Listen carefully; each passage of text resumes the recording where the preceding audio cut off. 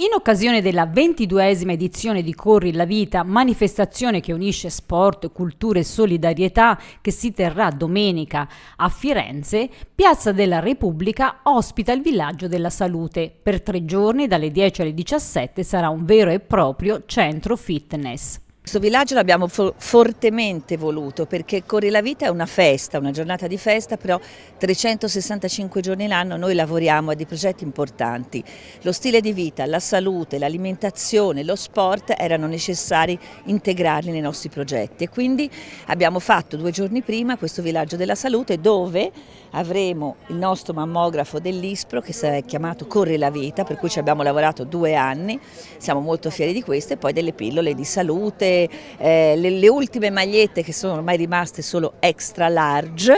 e siamo molto felici perché da un lato ci dispiace ma dall'altro sono proprio diventate un, un must che tutti vogliono, per cui siamo molto contenti. La nuovissima unità mobile ISPRO, presente in Piazza della Repubblica, ha un mammografo di ultima generazione. Faremo attività mammografica, alle donne che verranno forniremo la possibilità di effettuare anche lo screening per l'epatite C